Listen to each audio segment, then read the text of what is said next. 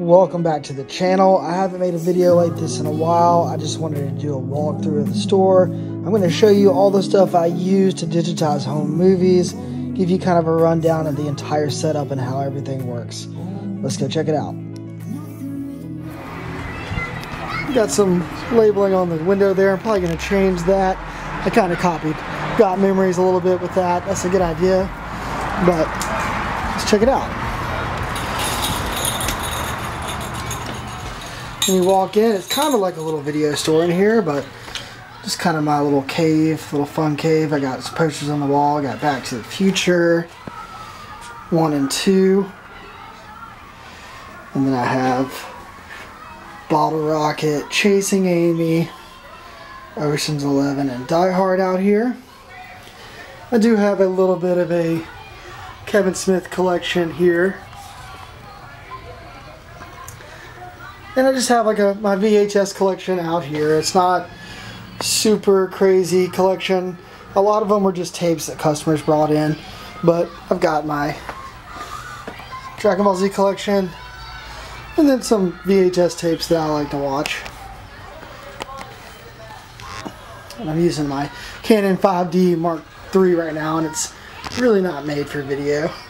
Also a huge fan of Jones Soda actually have a few of these. I need to add some more bottles to that box. I do know that some of my viewers are Jones Soda fans and we'll see more Jones Soda stuff as we go on. But so far this is kind of what you see out front. And I've also got a little display here with a few cameras I can point to for customers and this and that. There's actually a piece of tape hanging down there I need to take out. That's not supposed to be there, uh, but it must have fallen from the holding the lights up. But just some kind of a cool little display when you walk in. You got a couple stools out here so me and the customer can sit and talk when they come in. Alright. We walk through the curtain here. We got my uh, main setup here for every. I'm mostly set up with Panasonic players. All stereo machines on this shelf. And they're all ran into. The computer's using Elgato video capture, which is just a really good budget um, capture card for what I'm doing here. And just it just works. It just does a good job and works really well. But these are all stereo machines.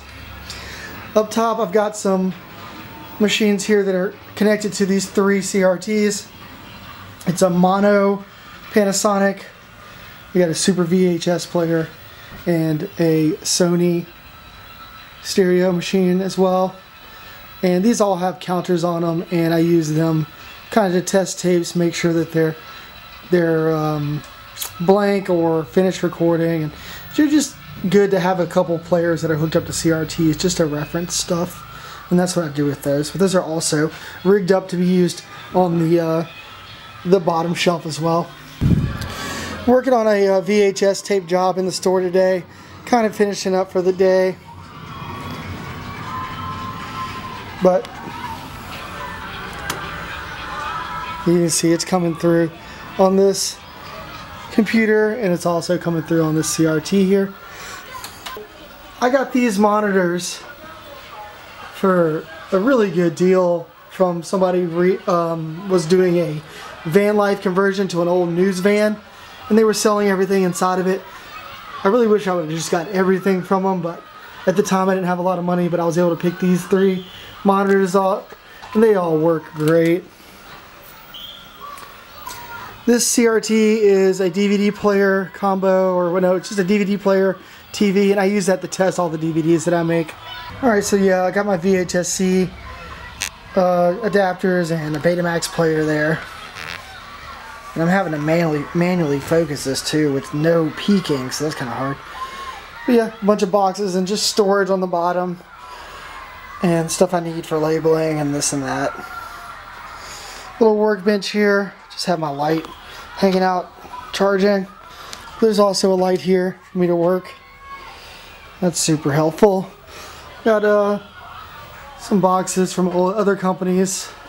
So you can see here, this cable's just ran all the way around to this player. Because this player stopped working today, So I just started using this one just to keep moving. More mono players up top.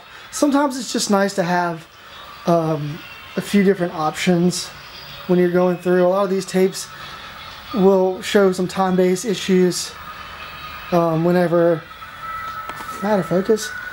A lot of these tapes will show time base uh, issues. Um, and it's nice to have a bunch of different players to try the tape in. Usually if you have a, you know, once I try a couple of different players, that I have at least one player that's going to play the tape fine. But I'm constantly maintaining and cleaning these. This player here is just hooked up to this TV so I can watch a movie every once in a while. And then a couple extra players here just in case I need something to work with. Over here we've got a MacBook Pro that the screen went bad on. And I didn't want to spend the money to replace it. I just bought another computer instead. And then now I'm using this with a thrift store TV that I paid $20 for. And it works perfectly fine. It's kind of my main computer for finishing each job. It's a pretty powerful laptop. Um, I think it's an i7. So it's it does good work with all the SD footage I'm working with here in the store. So right now you can see I'm doing a, a, a rather large export from Final Cut on a video that I had to piece together. I've got a couple DVD drives here. One, two, three. In case I need in case I need to uh, burn DVDs and this and that. All the way up top here, we have all my mini DV cameras.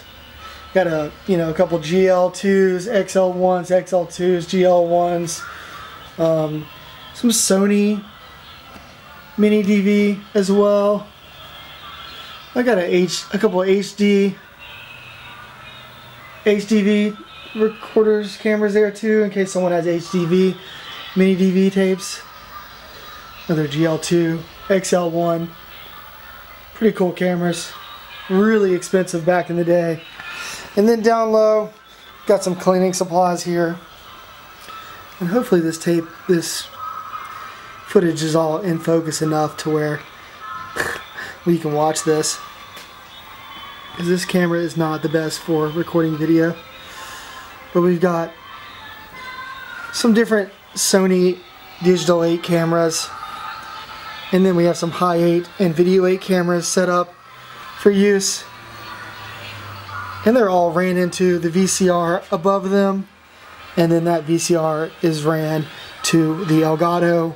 And then the Elgato is ran to the computer. And I can switch through them just by using these channel changers here. So this tape is finished, so we'll stop it. But I can switch through to the, to the camera or switch to through the other VCR above it in case I need to try the tape in multiple players. I can do that on each setup. So this player, this camera, and this VCR are all ran into this Elgato.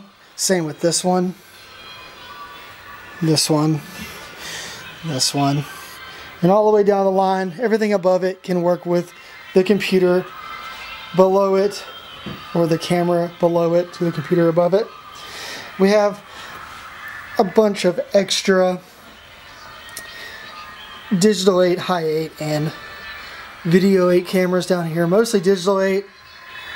Just stockpiling those for all the work that I know is going to be coming over the next few years. Here's another mini DV camera that I keep down there. Some customers will have two or three mini DV tapes, so I just leave one camera hooked up. And if I need to go mini DV, then I'll just move these cameras and grab them as I need them, and I'll set them up down low. I've been getting less and less mini DV in lately.